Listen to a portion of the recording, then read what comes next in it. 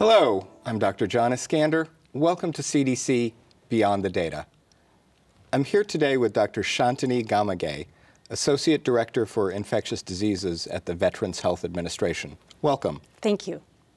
Um, at today's public health grand rounds, we heard from you and, and other experts about the role of water management programs in preventing Legionnaire's disease. But let's, let's take a step back. What do we know about rates of Legionnaire's disease and about outbreaks? So what we know is that Legionnaire's disease, which is a type of pneumonia, and it can be a severe type of pneumonia, the rates have been increasing steadily in the United States, um, especially since the year 2000. And we've seen this steady increase um, across the country. And it's unclear exactly why that's happening, but there's a number of uh, aspects that could be leading to that increase. Um, Legionella is the causative agent of Legionnaire's disease. It's a bacteria that lives naturally in water. And people don't typically get sick from natural environments where, where Legionella live. However, when it, Legionella get into the water distribution systems of buildings, it can proliferate if conditions are conducive to its growth.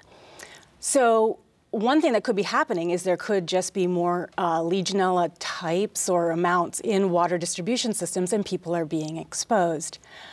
Another thing that could be happening is that clinicians, doctors, um, providers are diagnosing the disease more. There's a specific test that will diagnose Legionnaire's disease as the type of pneumonia a person has. And as we become more and more aware of the problem of Legionnaire's disease, um, perhaps through education events, through large outbreaks that have occurred, clinicians will um, more and more use the diagnostic test to identify cases. Another thing that could be happening is that people are actually more susceptible. We have an aging population, there are more people on immunosuppressive drugs, and these types of conditions can make someone more at risk for cases. So it's a multifactorial process, and um, what we're seeing is that we can implement practices perhaps a little better to try to get these rising rates under control. So in multiple reasons for increasing cases. Yes. Outbreaks frequently reported. Yes. Um, now, sometimes these outbreaks sort of um, sneak up, particularly on healthcare systems. I, I know yes. this is one of your areas of expertise. Yes. So one of the reasons that may happen is that, for one, these healthcare complexes are larger and larger buildings. There's an aging infrastructure there. But probably most importantly, these are buildings that house people who can have who can be very sick and have comorbidities or other conditions that could make them more susceptible to Legionnaire's disease. And so, um, in these settings, again, you know, with, with high risk areas as well, such as transplant units, people who are quite at risk. Um, it is particularly important to have practices in place to know when there's an issue that could be happening, such as cases of Legionnaire's disease from your facility, and ongoing plans to prevent Legionella from growing in your water systems. So, um, transitioning then to uh, uh, talking about prevention, we, we know from investigation of many outbreaks that uh, water management programs can prevent the vast majority of Legionnaire's outbreaks. Yes. Uh, what has been the experience of the, the Veterans Health Administration in implementing this? The Veterans Health Administration, um, which has the largest integrated healthcare system in the U.S., we have healthcare facilities all across the country. Um, we recognize that our patient population can be in those high risk categories. And so it is very important for us to have prevention, um, uh, prevention plans in place at each of our medical campuses. We've actually had Legionella prevention um, policies for decades, and it mostly centered around maintaining hot water temperatures in our buildings. But as we've learned more and more about practices that can be put in place that work together, um, we have embraced the concept of the water management plan that um, we talked about today at the Public Health Grand Rounds. Um, and so we do require that all of our healthcare buildings where patients or residents or visitors stay overnight have a comprehensive water management plan. I think one thing that um, can happen is facilities may not realize, and this is facilities in general, healthcare facilities, may not realize that healthcare associated cases are occurring. Unlike other healthcare associated infections or um, uh, where, where there's clinical management associated with you know, patient activities with preventing infections, um, these outbreaks are controlled and, and, cases are controlled from engineering hmm. practices. Mm. And so it really requires a concerted effort from different entities in a healthcare facility, engineering, facilities management, clinical staff, infection prevention and control, to come together um, to understand what is going on. So really a classic example of, of public health really requiring a multidisciplinary team and really going having to go outside of the, the public health and the healthcare sector Precisely. to uh, achieve that. So, um, what results has uh, the VHA achieved um, through this ongoing water management strategy? The way we validate that our programs are working, that the engineering controls in place to control Legionella in our water systems is working, is through surveillance. Um, we do clinical surveillance, meaning we encourage clinicians to test patients who have pneumonia with the Legionella test, um, and then to determine if that case may have been associated with health, their healthcare facility. The other thing that we do is we require quarterly testing of building water systems for Legionella as an indicator to see are we keeping things in control identifying a case of Legionnaire's disease or identifying Legionella in the water are both indications that controls may need to be adjusted. So this is an ongoing program at our facilities on a routine basis to try to control this pathogen uh, in the environment.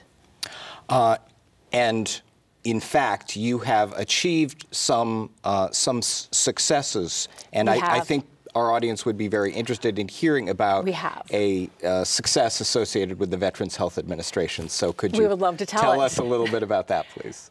One of the things we implemented when this current policy came into effect five years ago is national surveillance systems to collect data on the numbers of cases of Legionnaire's disease in our healthcare system and also the amount of Legionella in the water system. Both of those have, uh, surveillance systems have shown success. When we looked at our uh, Legionnaire's disease data over time, from 2014 to 2016, there were over 400 cases, almost 500 cases of Legionnaire's disease reported.